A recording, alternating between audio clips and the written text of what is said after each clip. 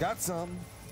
Got some if you need it. Got some top plays from Wednesday, and Viktor Fasth let six get by him, but those that he stopped right there against the Avalanche, those, were top plays. Colorado beat the Ducks, and the, the coaches went after it afterwards. She's a beauty, that number nine. How about how about target practice for Nathan MacKinnon and Sidney Crosby near their hometown in Halifax, Nova Scotia, knocking water bottles and breaking glass. Market eight, dude. New Jersey City University, Kean University, right here. New Jersey City University midfielder Mohamed Conteh. What? There's no way that went in. From 30 yards. At seven, Cory Emmerton, Mikael Samuelsson and Ryan Miller, no chance as the Red Wing goes top shelf out of midair in the 2-1 win. At six, Cleveland and Tampa Bay and Lonnie Chisenhall. Hot corner.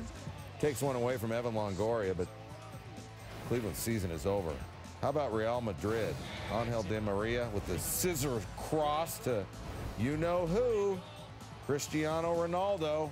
Check out the fancy feet and then the noggin. Nature Coast Tech, Pasco High School. Nature Coast running back to Sean Smith, breaking a tackle, spinning, and going 50 yards. He was playing twister there, and then he got up and and scored. You can see, man, put the put the hand down and the oh, did the ball touch the ground there? Apparently not.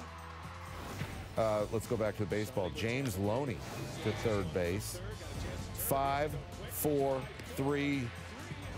Double trouble, and uh, Nick Swisher might be having trouble with a with a muscle there. You know what? He's been doing Pilates though. Uh, at two, off the free quick kick, Jens Hagler also known as Jans Hagler. At one, Galen Catholic, North Union. How great is some of this football we've got? No. No! Blake Wilkin finds Colton Neep. Man, that was the top play.